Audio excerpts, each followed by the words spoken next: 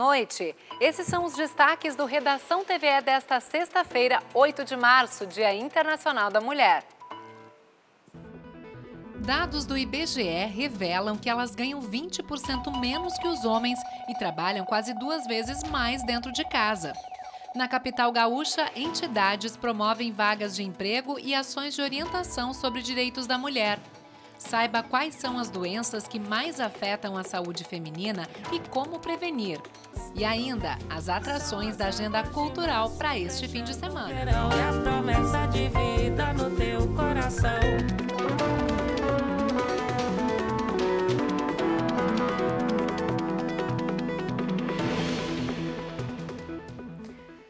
No dia 8 de março, o mundo celebra o Dia Internacional da Mulher, data que destaca lutas contínuas por igualdade de gênero, direitos humanos e inclusão econômica. Um esforço constante para amplificar vozes, desafiar preconceitos e valorizar a presença feminina em todos os espaços. Para marcar a data, aqui na capital, entidades organizaram ações em diversas áreas. Cristina procurou orientação jurídica sobre seus direitos na ocupação que exerce, de cuidadora. Eu não sabia os direitos do, da cuidadora, né? Nem do empregada doméstica. Me falaram sobre esse evento que ia ter hoje no Dia das Mulheres e eu vim participar. Eu não sabia e muita gente não sabe os seus direitos, né? E a gente vai trabalhar, a gente foi, uh, foi educada assim, né? Foi, a gente foi crescendo assim e não sabia. O direito era só ir lá, ficar com a pessoa na casa ou limpar a casa e ganhava, achava que a patroa pagava, né? Ela recebeu informações graças a uma iniciativa que está na oitava edição. Profissionais e ativistas da organização Temes, Gênero, Justiça e Direitos Humanos, da Defensoria Pública do Estado e da Associação Gaúcha dos Advogados Trabalhistas somaram esforços na estação Mercado da Transurb, numa atividade que atendeu mulheres de forma gratuita, instruindo sobre leis as usuárias do transporte nesse Dia Internacional da Mulher.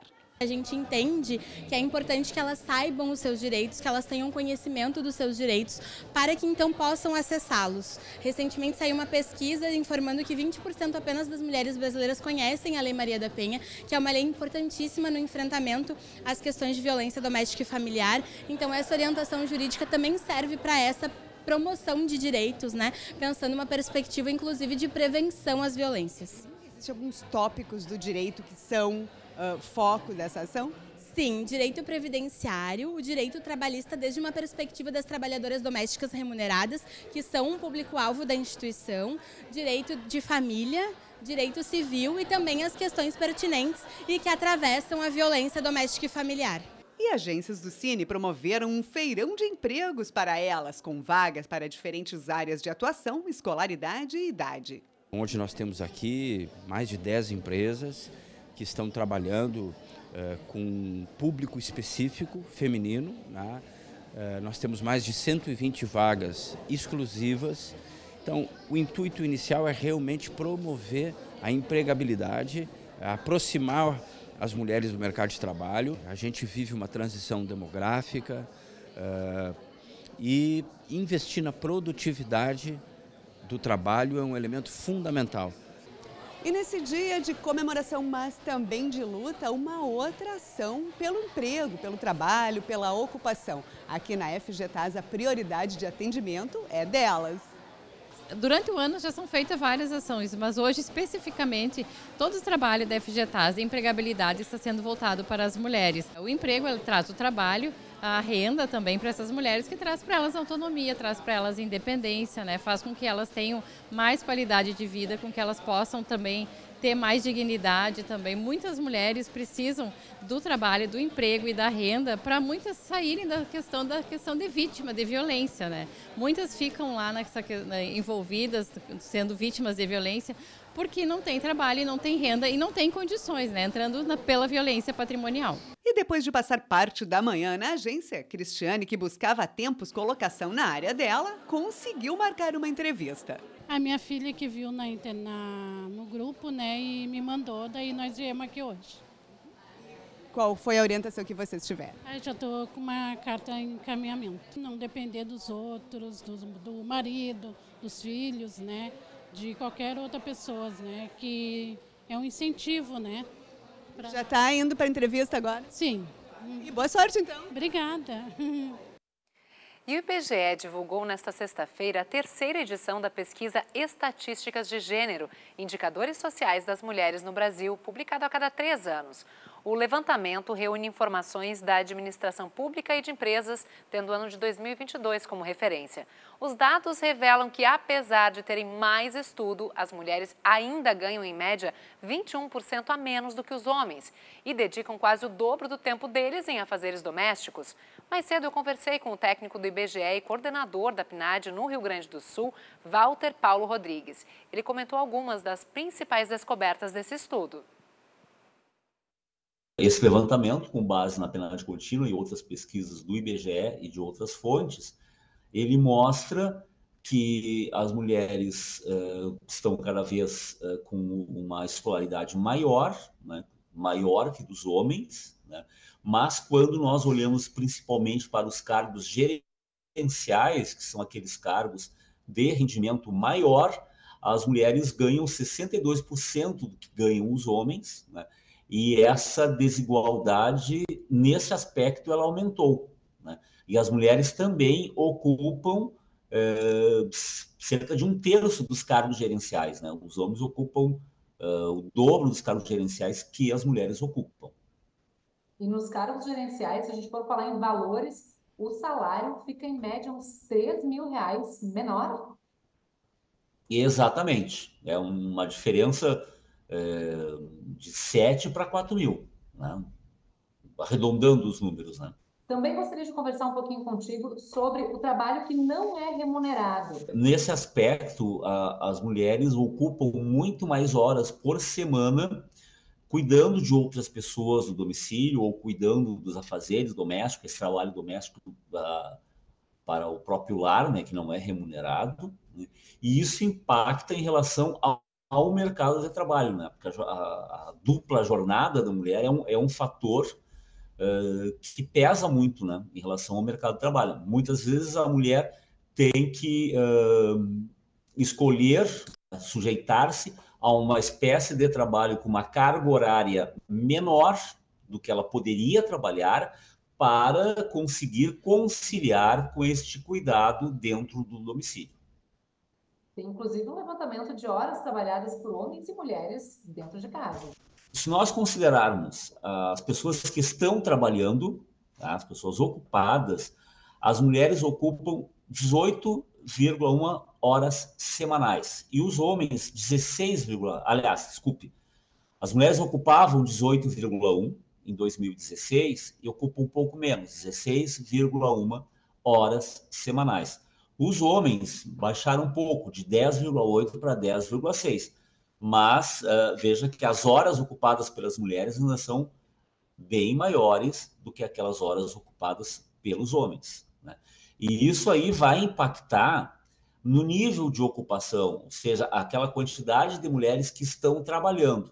Quando nós pegamos a faixa etária de 25 a 54 anos, né, as mulheres uh, elas uh, têm um, um nível de, de, ocupação menor do que os homens, e este nível de ocupação ele é menor ainda quando nós temos a presença no domicílio de crianças até seis anos de idade. Ou seja, a maternidade e paternidade têm um peso diferente. Para as mulheres, faz com que fiquem mais em casa, enquanto para os homens acaba aumentando a participação no mercado de trabalho, inclusive, né? Mas tem um, um, aspecto positivo, né? Que neste, neste aspecto o Rio Grande do Sul tem a, a melhor relação do Brasil, né? em relação é, às pessoas que trabalham e têm em seu domicílio crianças de até seis anos de idade. A diferença entre homens e mulheres do nível de ocupação ela é a menor do Brasil no Rio Grande do Sul. Né? Então, neste aspecto, é, o, os arranjos familiares gaúchos têm uma desigualdade menor. O que mais chamou a atenção é, no comparativo entre a última pesquisa realizada, né, trazendo esses indicadores sociais das mulheres no Brasil, e a de agora? A gente tem também motivos para comemorar algum indício de diminuição nas desigualdades? A gente tem avanços em alguns aspectos. Né? Claro que nós tivemos um, um evento né, nesse meio da série histórica, que foi a pandemia. Né? E isso teve um peso diferente para as mulheres, um peso maior para as mulheres em relação ao mercado de trabalho do que em relação aos homens. Né? A desigualdade no período de pandemia, né? é, levando-se em consideração que a mulher teve é, uma maior carga né, de trabalho no seu domicílio e isto impactou no mercado de trabalho. Quando a gente fala de mulheres pretas e pardas, a diferença aumenta em relação aos homens? Mulheres pretas e pardas, a taxa de desemprego é de 11%. Era agora em 2022. Quando a gente pega no outro extremo, homens brancos é de 4,4%. É menor. Né?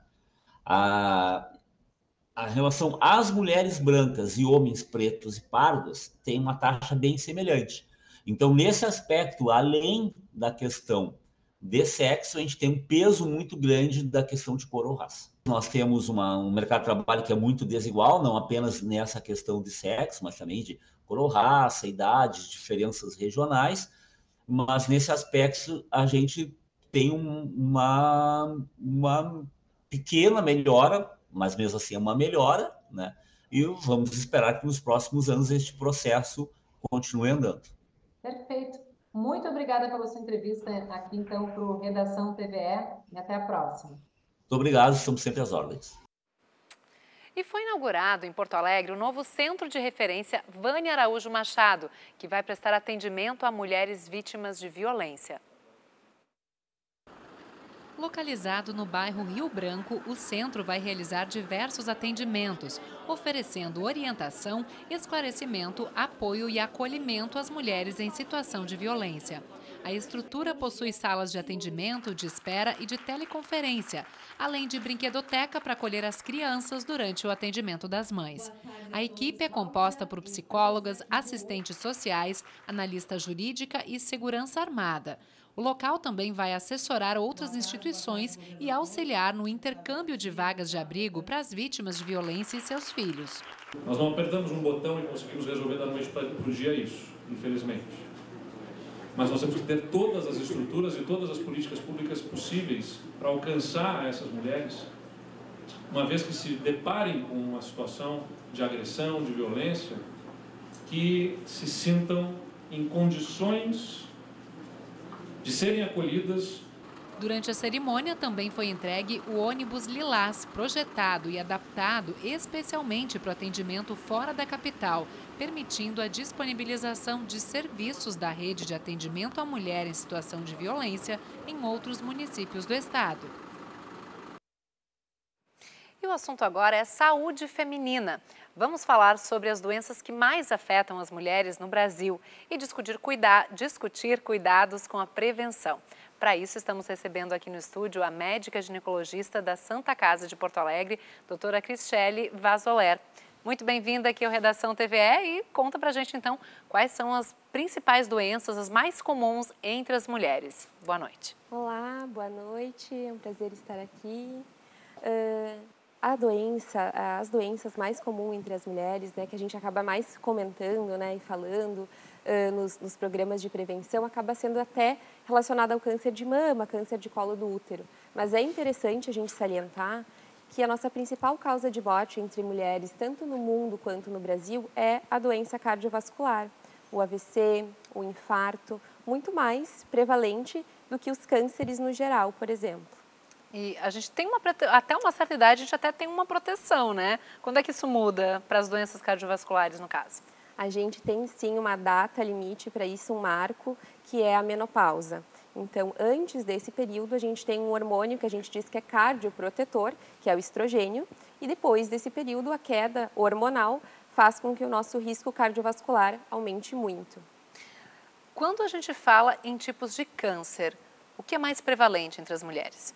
O mais prevalente é sim o câncer de mama, né? O Ministério da Saúde preconiza o rastreio dele, né, nossa rotina de exames uh, anuais ou bienais, conforme as diretrizes que a gente seguir. Uh, mas dentre os outros cânceres também tem o câncer do colo do útero, né, que também entra na nossa rotina de rastreio. Uh, e também tem a vacina do HPV, que ajuda até na prevenção desse tipo de câncer, que está dentre os cinco mais comuns. Então, é um câncer que a gente poderia né, não ter mais, porque ele é prevenível, e está entre os cinco mais comuns ainda.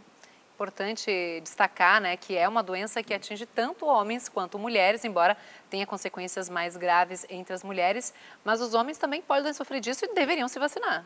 Sim, com certeza. A vacina é tanto para meninos quanto para meninas adolescentes. Uhum. Uhum. Tanto para se prevenir de problemas, quanto para não ser né, um, um, vetor aí de transmissão do vírus. É, além disso, se fala muito sobre osteoporose, é, é, um, é algo que é mais comum entre as mulheres? A osteoporose ela começa a ficar bem prevalente, sim, também depois da menopausa entre as mulheres. É uma doença silenciosa que não causa muitos sintomas, né? Mas causa muita morbidade ao longo da vida. Por exemplo, uma fratura por uma simples queda que pode gerar consequências, né, morbidade para essa mulher. Uh, o rastreio da osteoporose também é preconizado pelo Ministério da Saúde, né? A gente faz a densitometria mineral óssea em busca uh, desse diagnóstico.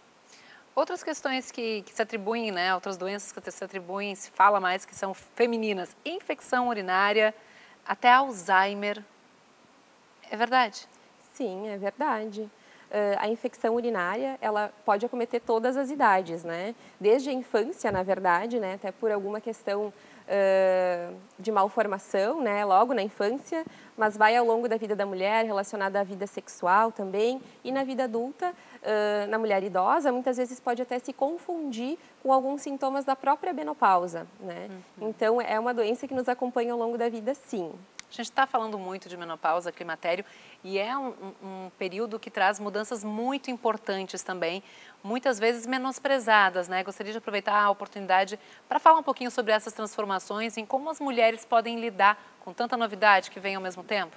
É, a menopausa ela é um marco, sim, né, na vida da mulher muitas vezes pouco comentado. Existe uma queda da qualidade de vida relacionada aos sintomas dessa perda hormonal, hormonal que a gente comentou anteriormente. Então, uh, os calorões conhecidos, né, os fogachos, névoa mental, que seria um esquecimento, uh, aumenta a ansiedade, até questões depressivas estão relacionados a essa fase. E muitas vezes a gente não fala sobre isso, né, uh, leva como normal, dentro da normalidade, mas não, a gente tem que saber que existe tratamento para tudo isso. E dentro de tudo que a gente está falando, a prevenção engloba atividade física, cuidado da alimentação, uma alimentação saudável, evitar tabagismo, evitar obesidade.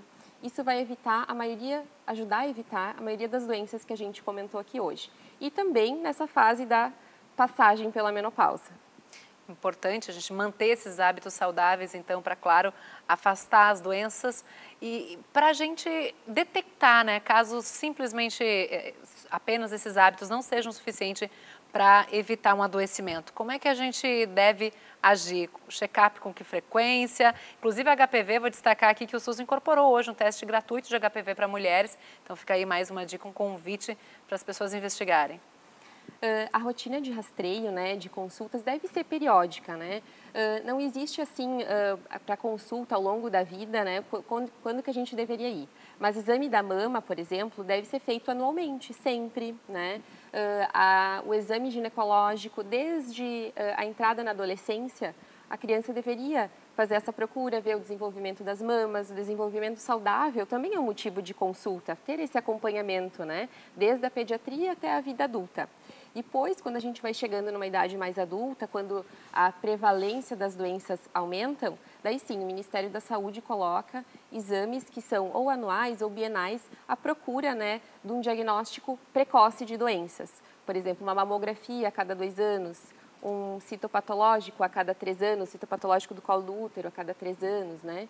Claro que isso vai depender de cada caso, né? Estou falando num, de modo geral. Uh, a colonoscopia, por exemplo, é outro exame pouco falado, mas que também entra no rastreio da mulher. Doenças câncer, intestinais. Isso, o câncer colo retal é o segundo mais comum do mundo dentro para as mulheres. Hum, olha aí. É. Muito bem, ficam aí algumas dicas, então, da Sim. doutora Cristiane Vazoler, ela que é médica ginecologista da Santa Casa de Porto Alegre. Muito obrigada por vir até os nossos estúdios compartilhar com a gente esses, essas recomendações e cuidados para prevenir doenças que incidem mais em mulheres. Eu que agradeço, muito obrigada e feliz, e feliz dia, dia da mulher. Era o que eu ia dizer também. Feliz dia da mulher. Obrigada. Feliz dia para nós. E nós vamos agora a um breve intervalo. Na volta tem a previsão do tempo e tem também as atrações da agenda cultural para este fim de semana.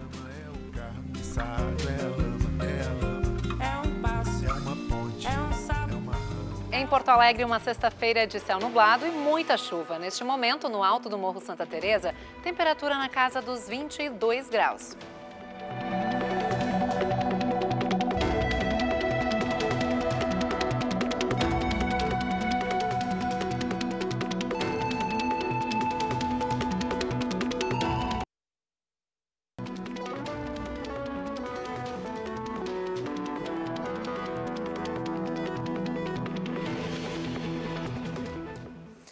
Redação TV é de volta e vamos agora conferir as informações do tempo para este fim de semana. A chuva aumentou no estado nas últimas horas e essa instabilidade deve continuar amanhã com muita umidade e sensação de abafamento. Mas o tempo muda a partir da tarde de domingo. Veja os detalhes no mapa da previsão do tempo para todo o Rio Grande do Sul.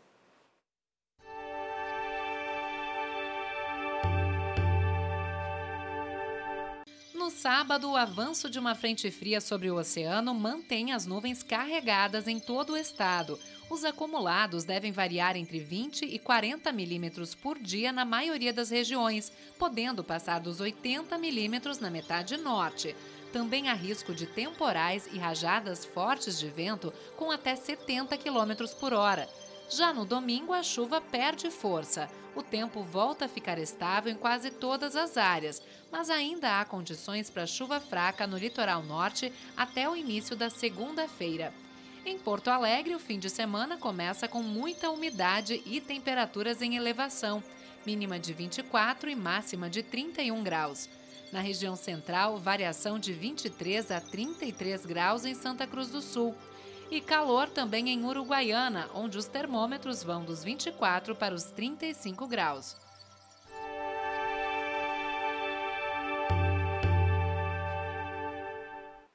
E chegou a hora de conferir a agenda cultural para este fim de semana, que tem show em praça e homenagem a dois grandes nomes da música popular brasileira. Olha só.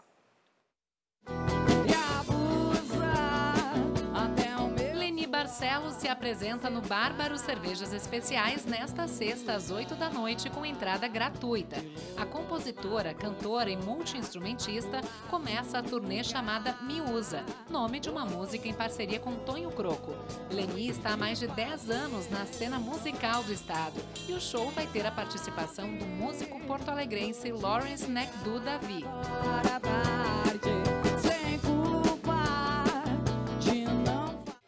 Já Bernardo Zubaran e Dionara Schneider vão estar no Odeon Snack Bar nesta sexta às nove da noite. Uma mistura de harmônica e piano em combinação incomum. O duo vai interpretar clássicos da música brasileira, do blues e do jazz, além de obras marcantes de trilhas sonoras cinematográficas.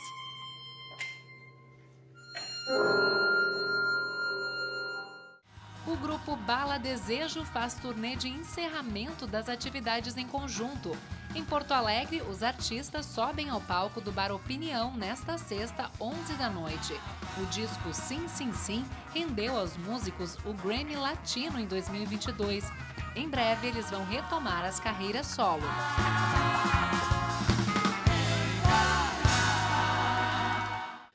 Show coletivo organizado pelo Bar do Alexandre vai acontecer na Praça da Esquina das ruas Saldanha Marinho e Gonçalves Dias, no bairro Menino Deus, na capital.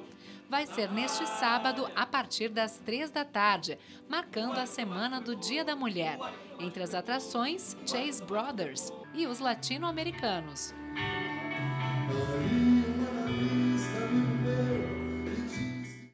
Fundação Ecarta inicia a temporada musical neste sábado, com Arthur de Farias e Pedro Longes como atrações. No repertório, obras autorais dramáticas em português e espanhol e o bom humor característico dos artistas.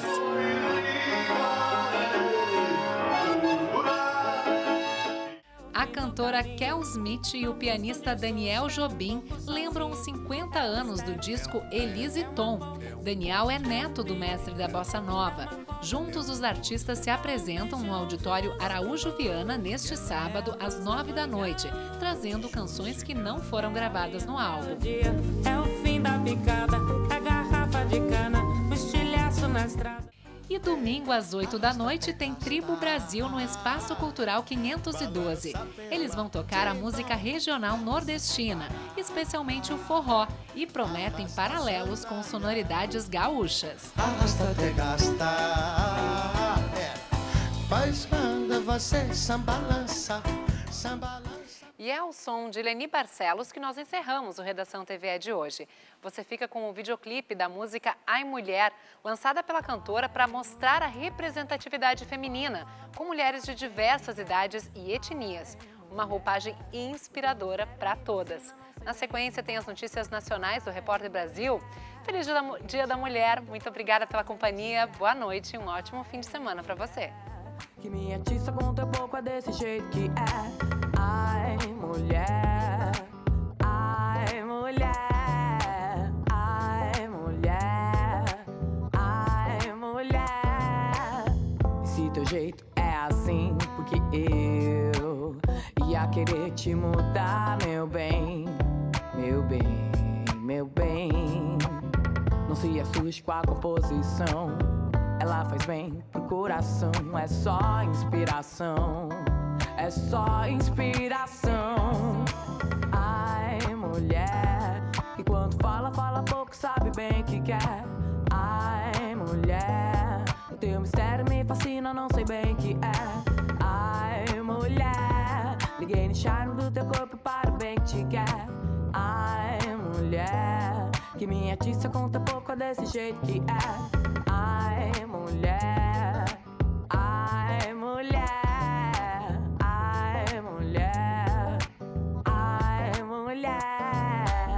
Fosse mais fácil te entender, só que não. Quanto mistério tu guarda dentro desse coração? Qual a sua intenção? Ainda não descobri, mas é muita inspiração. Sempre que eu lembro de ti, tu sabe que eu te quero. Então me diz o que tu quer, me diz o que sentiria se fosse minha mulher. Eu vou fazer de um jeito que não vai esquecer. Se quer meter na minha cama, nela você vai me ter.